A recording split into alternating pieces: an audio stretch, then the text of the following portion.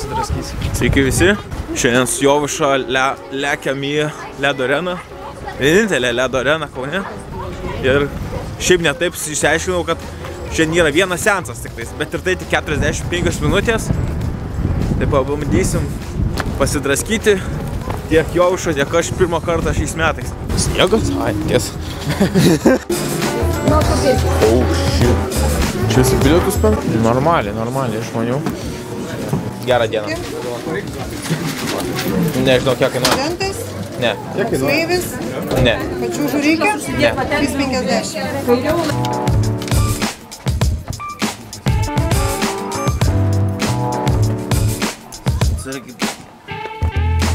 Ruošęs. Žiūrėk, kaip žmonių.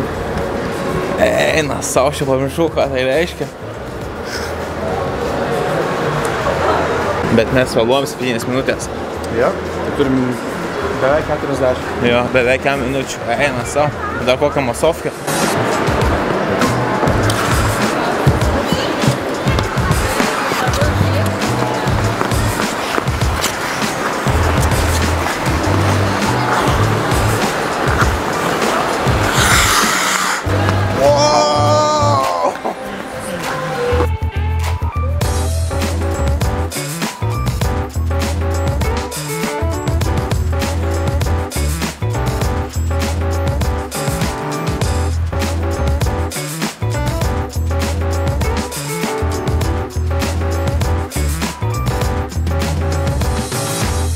Lempas tiek žmonių reikia atsargėt buvom.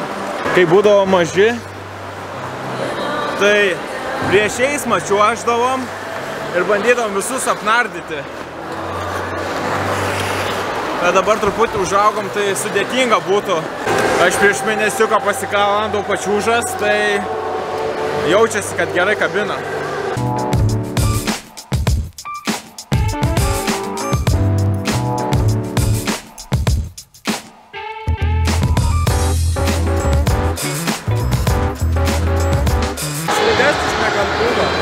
Nu jo, čia slidu. Ne Kalniečių parko ledas.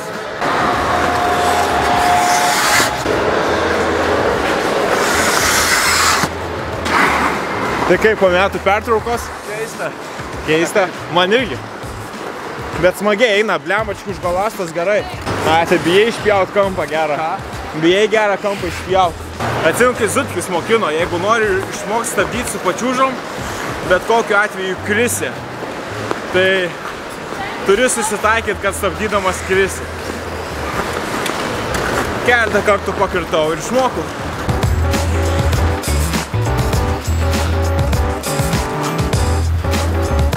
Prikolinai, kai sakėjai, va, grįš iš kelionės ir iš karto ledo šausim. Jo, šoviau man ledo.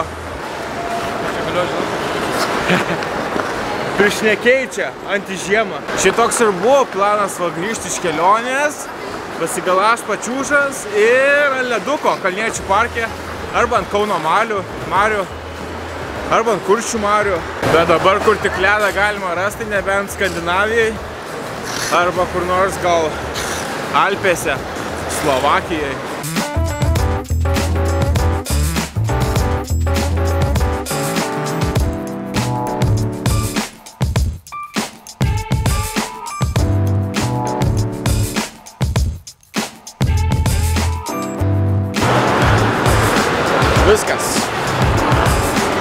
Visi palieka aikštę.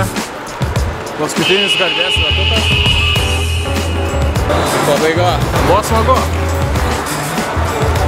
Reikės dažniau. O ne? O ne? Ką? O ne? Reikėjo sakyti taip. Sakiau, reikėjo dažni, reiks dažniau. Truputį. Nu ką, viskas, grįžom į rajoną. Pačiūžos pagalastos, ledas išdraskytas. Planuosim kitą susitikimą ant ledo. Jeigu būtų čia standartinė žiema, tai sakyčiau, jau rytoj būtų galima ant Kalniečių parko ledą nueiti. Bet, nu ką, ne šią žiemą, sorry. Komentarų turi? Reikės kartot. Jop. Peace.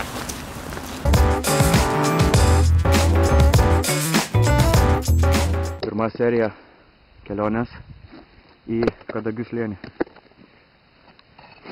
Apsivarstė pačiūžas, ką tik nusileidom nuo kalno, vos vos, ir pasiruošę keliauti. Taip, mūsų tikslas, mūsų tikslas yra tas iškišulys. Tenais ir bus antra serija. Taip, artėjame prie šį iškišulio. Jau nuvykom tokį kelią. Matot? Čia žvėjų grupuotė. Kiek čia? Vienas, du, keturi žvėjai. Čia dar vienas. Sauris varo. Aha. Neskubėk, neskubėk, neskubėk, girdi.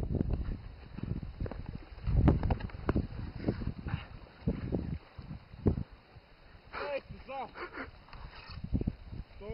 Šalta? ledas. Stovus vėl, ką daro? Tuoj susirgs. Mes tą kamerą. Gerai, Auris lūžo, einu gelbėt. Štai ir baigėsi mūsų ledo kelionė. Ant batų. Auri, kokie įspūdžiai? Šalta ranka. Kaip buvo jausmas? Būčiau be rūbų, būtų daug smagiau. Sakai, Jo. jau čia dabar. Gal tie žmonės paverks? Nežinau, kur mes dabar tiksliai esame. Vis tiek daug nučiuožėm. Aišku, tikslo neįvykdom. Gaila. Bet reikės kartot, jeigu šalčiai leis.